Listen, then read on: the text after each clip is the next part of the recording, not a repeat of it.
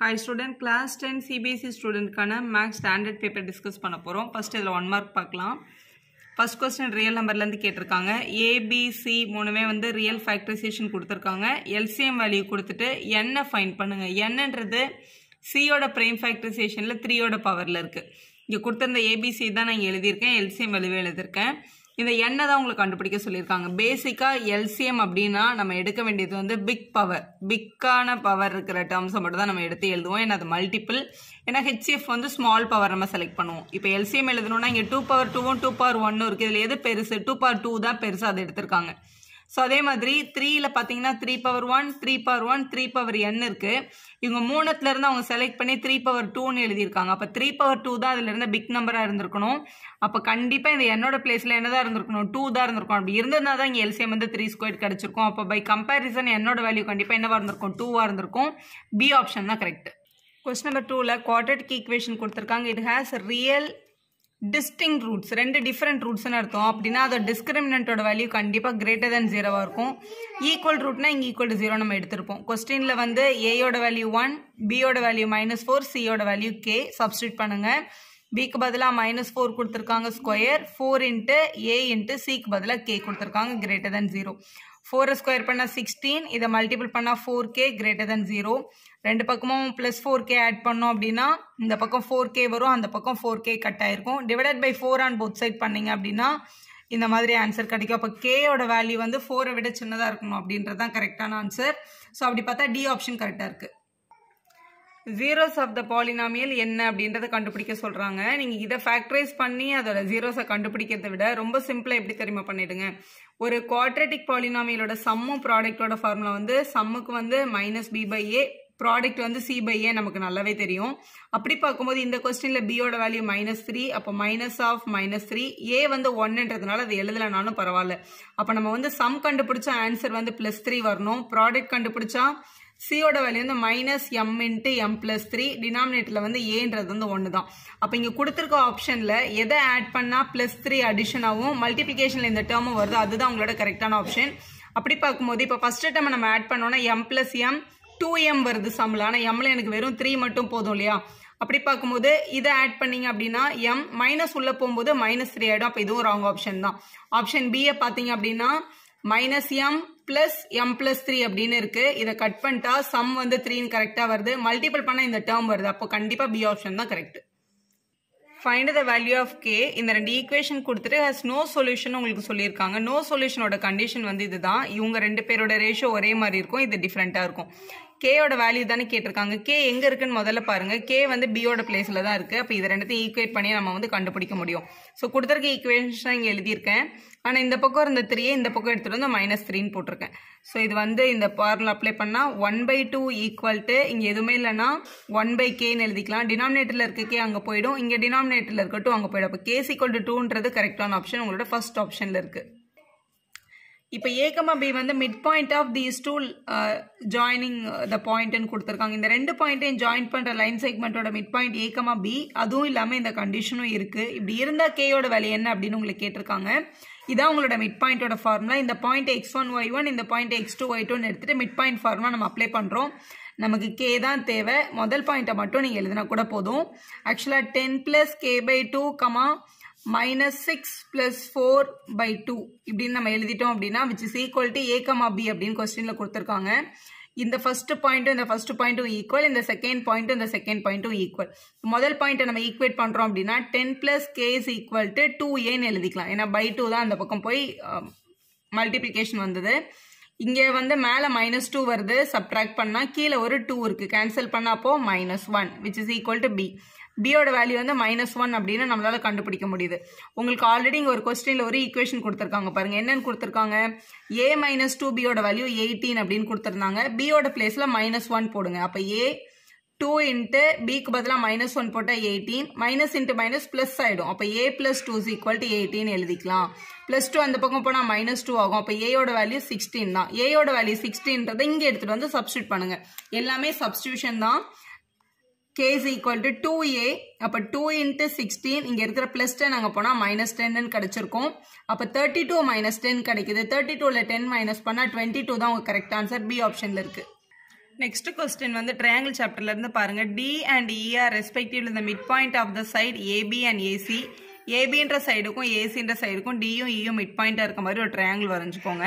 இதுல ஏடி வந்து த்ரீ பிடி இந்த யூனிட் எல்லாமே கொடுத்துட்டு கொஸ்டின்ல டிஇயோட லென்த்தை கண்டுபிடிங்க அப்படின்னு சொல்லியிருக்காங்க. டயக்ராம் வரைகிறதுக்கான ஹிண்ட்ல தான் இந்த டிஇயும் பிசியும் பேரலாக இருக்கணும் அப்படின்னு சொல்லியிருக்காங்க. பேசிக்கா இதுல பிபிடி சிமிலாரிட்டின்னு ரெண்டு விஷயம் தான் நீங்க படிக்க போறீங்க. பிபிடினா இந்த சைடோட ரேஷியோ கொடுத்துட்டு இந்த சைடோட ரேஷியோ கேட்டாங்க அப்படின்னா பிபிடியில போங்க. இந்த பேஸ் கேட்குறாங்க அப்படின்னா இந்த இன்பிட்வீன் லைன் கேட்டாங்கன்னா இது சிமிலாரிட்டி தான்.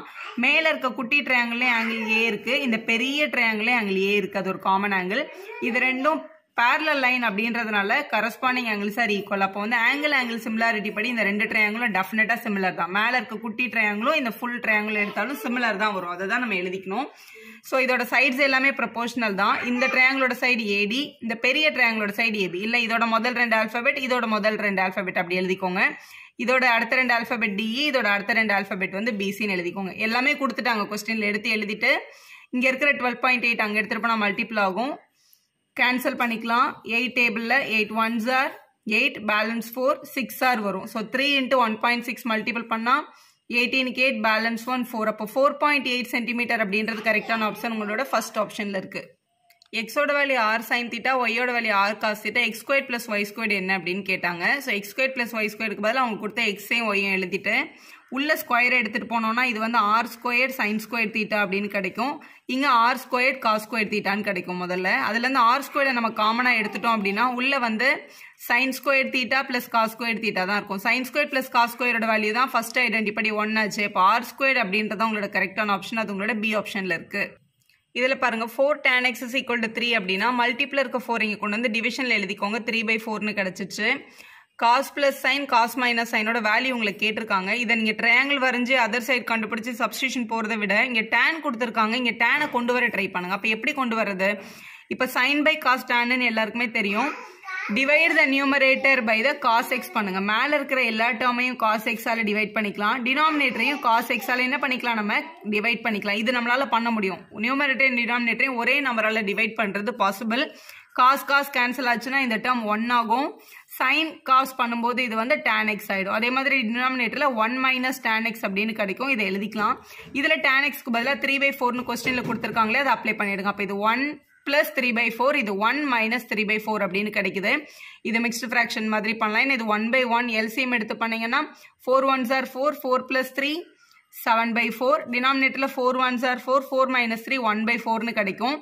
மேலே இருக்க செவன் பை ஃபோர் அப்படியே இருக்கும். கீழே இருக்க ஒன் பை ஃபோரை மேலே எடுத்துகிட்டு போனீங்கன்னா ஃபோர் பை ஒன் கேன்சல் பண்ண ஆன்சர் செவன் தான் correct first option ninth question பாருங்கள் ட்ரையாங்கிள் ஏபிசி ட்ரையாங்கிள் டிஎஃப்இ இந்த இடத்த ஒழுங்காக படிங்க. நான் டிஇஎஃப்னு தான் நம்ம யூஸ்வலாக ஆல்ஃபபெட் யூஸ் பண்ணுவோம். ஆனால் வேணும்னே எஃப்இன்னு கொடுத்துருக்காங்க பாருங்கள் அப்போ பியோட கரஸ்பாண்டிங் ஆங்கிள் எஃப் தான் இ கிடையாது. நான் வேணும்னே தான் மாற்றி கேட்டிருக்காங்க. இதில் a angle c angle AB length இது கொடுத்துருக்க லென்த்தெல்லாம் நான் இங்கே எடுத்து எழுதியிருக்கேன். வேறு எதுவுமே பண்ணல. ஸோ இந்த ரெண்டு ட்ரையாங்கிளையும் கம்பேர் பண்ணி இதில் எந்த ஆப்ஷன் கரெக்ட் அப்படின்னு உங்களுக்கு ப்ரூவ் பண்ண சொல்கிறாங்க ஒரு ட்ரையாங்கிளோட மூணு ஆங்கிள் ஆட் பண்ணால் one eighty angles and property நம்ம சின்ன கிளாஸ்லேருந்து படிக்கிறோம். அப்போ இந்த முதல் ட்ரையாங்கிளில் ஃபிஃப்டி தேர்ட்டி ஆங்கிள் பி மூணு பேரையும் ஆட் பண்ணால் ஒன் எயிட்டி வரும் நமக்கு தெரியும். அப்போ தேர்ட்டியும் ஃபிஃப்டியும் ஆட் பண்ணால் எயிட்டி ப்ளஸ் எயிட்டி அந்த பக்கம் போனால் மைனஸ் எயிட்டி ஆயிருக்கும். அப்போ பியோட வேல்யூ ஹண்ட்ரட் தான். பியோட கரஸ்பாண்டிங் ஆங்கிள் யார்? பி ரெண்டாவது ஆல்பபெட் இங்கே ரெண்டாவது ஆல்பபெட் வந்து எஃப் தான். அப்போ பி ஹண்ட்ரட்னா கண்டிப்பாக எஃப் என்னவாக தான் இருந்திருக்கும்? ஹண்ட்ரடாக தான் இருந்திருக்கும். அப்போ எஃப் ஹண்ட்ரட் வர்றதா உங்களோட கரெக்டான ஆப்ஷன் எஃப் ஹண்ட்ரட் பி ஆப்ஷனில் இருக்குது பாருங்க. அதான் நீங்கள் செலக்ட் பண்ணணும். கொஸ்டினில் ஏபிசிடி ட்ரெபீசியம்னு கொடுத்துருக்காங்க. ஏடி வந்து பிசிக்கு பேரலல்னு கொடுத்துருக்காங்க. அப்போ ஏபிசிடி இப்படி எழுதுங்க. ஏன்னா அப்பதான் ஏடியும் பிசியும் பேரலாக வரும். இதில் கொடுத்துருக்கிறது ஏடி ஃபோர் பிசியை கேட்டிருக்காங்க. கொஸ்டினில் ரெண்டு ரேஷியோவும் கொடுத்துருக்காங்க. இப்போது இது வந்து இதோட ஆப்போசிட் சைடை கேட்டிருக்காங்க. கு- ஒரு சைடு கொடுத்துட்டு ஒரு சைடு கேட்குறாங்கல்ல அப்போ சிமிலாரிட்டி ட்ரையாங்கிள் யூஸ் பண்ணுங்க ஏன்னா கொஸ்டின்ல இவங்க ரெண்டு பேர் பேரலல் லைன் அப்படின்றதுனால ஆல்டர்னேட் ஆங்கிள்ஸ் ஆர் ஈக்குவல் அப்போ இந்த ஏயும் இந்த சியும் ஈக்குவலாக தான் இருக்கும். இது வந்து vertically opposite angles are equal அப்போ இந்த மேலே இருக்கிற இந்த குட்டி ட்ரையாங்கிளும் இந்த ட்ரையாங்கிளும் கண்டிப்பாக சிமிலர் ட்ரையாங்கிள்ஸ் தான். அப்போ triangle AOD is similar to triangle அங்கே இருக்க ஏன்ற ஆங்கிள் வந்து இங்கே இருக்க சின்ற ஆங்கிளுக்கு தான் ஈக்குவல் அப்போ சி ஓ பி அப்படின்னு எழுதணும் இதை. ஏன்னா இந்த ஆல்பபெட்டை போடுறது தான் முக்கியமான இது. அதை நீங்கள் கரெக்டாக போட்டிங்கன்னா ஆன்சர் கரெக்டாக வந்துடும் இப்போ இதில் முதல் ரெண்டு ஆல்பபெட் வந்து ஏஓ இங்கே முதல் ரெண்டு ஆல்பபெட் வந்து சிஓ அதை எழுதிக்கலாம். இஸ் ஈக்குவல்ட்டு இங்கே வந்து ரெண்டாவது மூணாவது ஆல்ஃபபெட் வந்து ஓடி இங்கே அடுத்து வந்து ஓபி அப்படின்னு இருக்கு. இங்கே முதல் ரெண்டு ஆல்ஃபபெட் ஃபர்ஸ்ட்டும் லாஸ்ட்டும் ஜாயின் பண்ணால் ஏடி கிடைக்குது. இங்கே ஃபர்ஸ்ட்டும் லாஸ்ட்டும் ஜாயின் பண்ணால் பிசி கிடைக்குது. ஏஓ பை ஓசிஓ இல்லை டிஓ பை பிஓ ரெண்டுமே ஈக்குவல்ட்டி என்ன தான் கொடுத்துருக்காங்க? ஒன் பை டூன்னு கொடுத்துருக்காங்க. One by two equal to ஏடியோட value four பிசியோட வேல்யூ என்னன்றதான் உங்களோட கொஸ்டின் ஸோ இங்கே டிவைடில் இருக்க பிசி இங்கே போனால் மல்டிப்ளை ஆகிடும் டிவைடில் இருக்க டூ இங்கே வந்தால் மல்டிப்ளை ஆகிடும் அப்போ ஃபோர் டூ சார் எயிட் சென்டிமீட்டர்ன்றது உங்களோட கரெக்டான ஆப்ஷன் உங்களோட சி ஆப்ஷனில் இருக்குது லெவன்த்து கொஸ்டினில் ரேடியை of two concentric circle concentric சர்க்கிள்னால் ஒரே சென்டரை வச்சு வரையப்பட்ட ரெண்டு சர்க்கிள்ஸ்னு அர்த்தம். அதோட ஒன்றத்தோட ரேடியஸ் ஃபோர் இன்னொன்று ஃபைவாக இருந்தால் length of each chord of one circle ஒரு சர்க்கிளோட chord that must be the tangent of the other circle ஒரு சர்க்கிளுக்கு கார்டு வரையணும் அது இன்னொரு சர்க்கிளோட டேஞ்சண்ட்டாக இருக்கணும் அப்படின்னா இந்த லைன் வந்து சின்ன சர்க்கிளுக்கு டேஞ்சன்ட் பெரிய சர்க்கிள் கார்டு இதோட லென்த்தை தான் உங்களுக்கு கேட்குறாங்க ஸோ இதோட பாயிண்ட் ஆஃப் கான்டாக்ட் கூட இதை ஜாயின் பண்ணோம்னா இது வந்து சின்ன சர்க்கிளோட ரேடியஸ் ஃபோர் இங்கே ஜாயின் பண்ணோம்னா இது பெரிய சர்க்கிளோட ரேடியஸ் ஃபைவ்னு சொல்லிடலாம். இது கண்டிப்பாக நைன்டி டிகிரி இருக்கும் ஏன்னா இது பாயிண்ட் ஆஃப் கான்டாக்ட் ஒரு ரைட் ஆங்கிள் ட்ரையாங்கிள் ஒரு சைடு ஃபோர் ஒரு சைடு ஃபைவ்னா கண்டிப்பாக இன்னொரு சைடு த்ரீ தான். ஏன்னா த்ரீ ஃபோர் ஃபைவ்ன்றது வந்து பித்தாகரன் ட்ரிப்ளெட் இல்லை மேம் எனக்கு இங்கே த்ரீ வர்றதுக்கு டவுட்டாக இருக்குது அப்படின்னா நீங்கள் வந்து உங்களோட பித்தாகரன் சேரம் அப்ளை பண்ணலாம். ஏதாவது ஒரு ஆல்ஃபாபெட் போட்டு OB squared equal to OA squared plus AB ஸ்கொயர்டுன்னு எழுதி கூட நீங்கள் அப்ளை பண்ணலாம். ஸோ இங்கே வந்து five squared equal to four square plus x ஸ்கொயர்னு சப்ஸ்டியூட் பண்ணோம்னா டுவெண்ட்டி ஃபைவ்ல சிக்ஸ்டீனை மைனஸ் பண்ணால் நைன் கிடைக்கும். நைனுக்கு ரூட் எடுத்தோம் அப்படின்னா த்ரீ வரும். அப்போ இது வந்து கண்டிப்பாக த்ரீ தான். இந்த சைடு த்ரீ இருந்தால் இந்த பக்கமும் த்ரீ தான் இருக்கும். அப்போ இதோட டோட்டல் லென்த் சிக்ஸ் சென்டிமீட்டர்ன்றது கரெக்ட் ஆப்ஷன் உங்களோட பி ஆப்ஷனில் இருக்குது area of a square that inscribe in சர்க்கிள்னா சர்க்கிளுக்குள்ள இருக்க ஒரு ஸ்கொயரோட ஏரியாவை கண்டுபிடிங்க. சர்க்கிளோட ரேடியஸ் எயிட்டா இருந்தா. இது வந்து ரேடியஸ்னு வச்சுக்கலாம். இது வந்து எயிட்டு அப்போ இந்த பக்கமும் நான் ஒரு ரேடியஸை கனெக்ட் பண்ண முடியும். இதுவும் எயிட் இருக்கும். அப்போ இதோட மொத்த டயமீட்டர் வந்து சிக்ஸ்டீன் டயாமீட்டர் ஆஃப் த சர்க்கிளும் டயக்னல் ஆஃப் த ஸ்கொயரும் ஒன்று தான் இங்கே எப்போவுமே ஒரு ஸ்கொயரோட டயக்னல் கொடுத்துட்டு ஏரியா கொடுத்தாங்கன்னா நம்மளோட area formula half into diagonal square ஸ்கொயருக்கு இப்படி ஒரு ஃபார்முலா இருக்குது டயக்னல் கொடுத்தாங்கன்னா அப்போ ஹாஃப் இன்ட்டு டயக்னல் வந்து சிக்ஸ்டீன்றதுனால சிக்ஸ்டீன் ஸ்கொயர்னு எழுதிக்கலாம். Sixteen sixteens are two fifty six by two இதை கேன்சல் பண்ணால் one time two time eight time one hundred and twenty eight centimetre square வருது. அதுதான் கரெக்ட் ஆப்ஷன் உங்களோட பி ஆப்ஷனில் இருக்குது